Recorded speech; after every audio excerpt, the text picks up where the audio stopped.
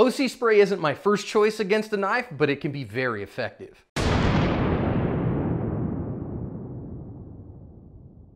Hey everybody, welcome to today's lesson here at Active Self-Protection. I'm your host, John Correia.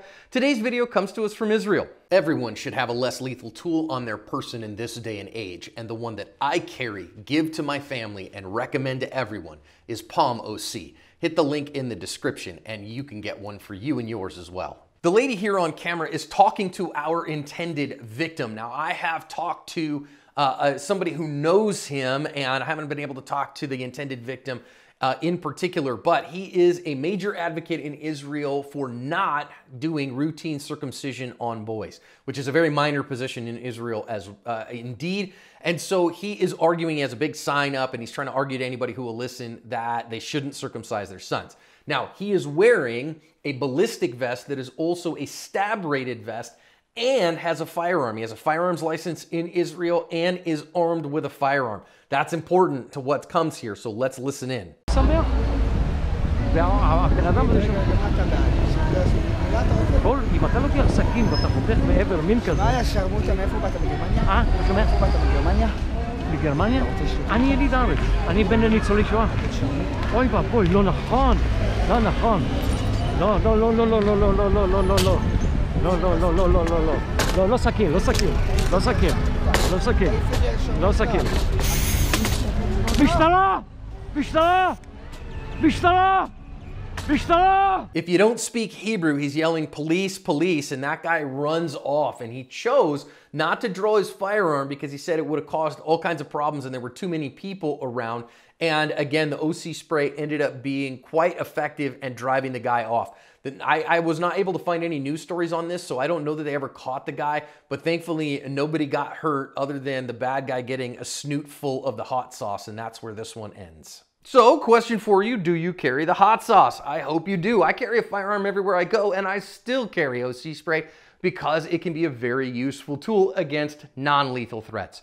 What about you? So, you know, I don't get political at active self protection. I think that self defense is a right for all people. And I do also think that the right of free speech, especially speech that is not popular in a given community, is something that we should protect. I get it, this is Israel, not the United States, but I do think that somebody having an idea and espousing that idea is no reason for them to be the subject of violence. I think we all ought to respect the fact that everyone is entitled to their opinion and they can voice their opinion however they'd like in the public square, and that's perfectly okay. Let's think about the self-defense aspects from here, though. Thankfully, this guy decided, hey, I know that, that I could be the subject of violence for this opinion, and therefore he takes appropriate steps to protect himself. So he's talking with this other guy. Guy is upset with him. He calls him all kinds of names.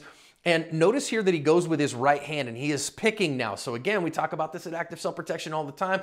Eyes, hands, waist. Now, if you speak Hebrew, this guy is calling him filthy language and he's, you know, uh, just saying all kinds of utterly ugly things to him. And now he's reaching with his hands. This is a great place to gain some distance right now. There's no reason to stay this close. Now, there is a fisheye lens effect from the camera on this guy's head, but still, a little bit more distance would provide you a little bit more margin for success. And margin for success in self defense is something that we all desperately want. Now, the knife comes out. Look at how close he is here. Now's the time for action. Now, this is not the first time, apparently, that our protester has had somebody pull a weapon on him, which seems a little insane to me. And he is wearing a stab proof vest, so he feels pretty good about that. But recognize the stab proof vest is not going to help his face, his arms, his hands, his legs, none of that stuff. You don't want to let that guy that close to you. Would he be justified here to shoot this guy? Certainly in the United States, given the totality of the circumstances, yes.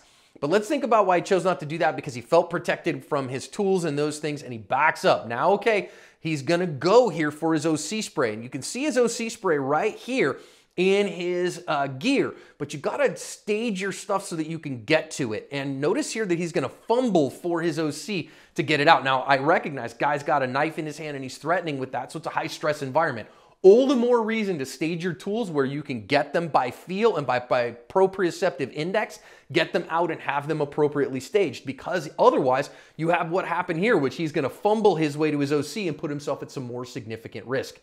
Now, I want you to notice that what we see here is if he had chosen to draw his firearm, look at the backstop that we have here. And this was why I think it was probably a good decision, given the fact that he's wearing a stab-proof vest, given the fact that he has some opportunity and a little bit of distance, that in this instance, trying that would be good. If you choose to use the firearm in this instance, I think that you better be a darn good shot and you better recognize that you're running a pretty big risk because look at all the people in the backstop here. So I think OC is not necessarily bad. Now notice what he has here is he's got the OC spray out. He grabbed it by the flip top. So now he's gonna try to get it over to his other hand. So again, the fumbling here. And now he's finally got it oriented where he can use it, but notice he's using his index finger. That is bad technique, friends.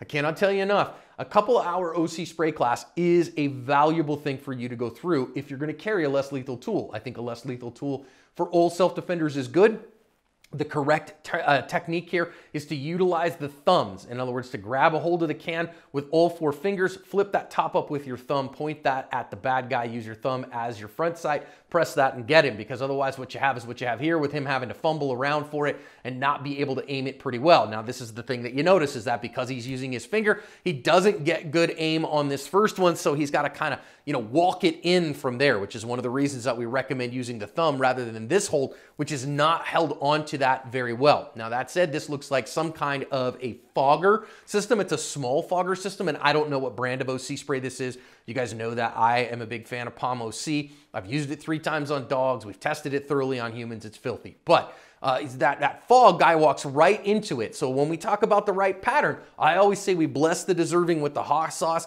We cross them like we are Catholics, right? The Father, the Son, and the Holy Spirit, and we bless the deserving with the hot sauce. And I use that terminology on purpose to remind people that we go ear to ear and then we go hairline to sternum.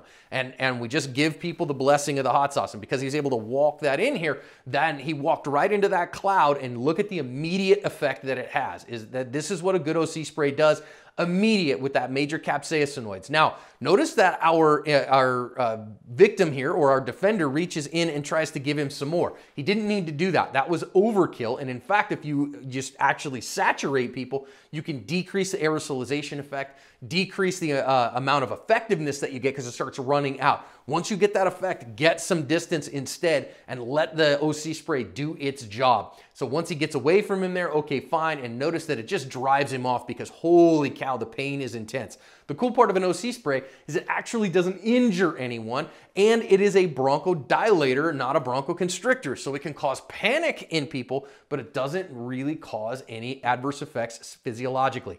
I love the fact that our intended victim then went and got police. Again, I'm the aggrieved party here, and he did a very good job. So you guys know that I'm a huge fan of something like an OC spray. I really recommend it for all self-defenders. That said, I want you to be have it properly staged. I want you to use it effectively and know how it works. This guy did a pretty darn good okay job of covering his asp.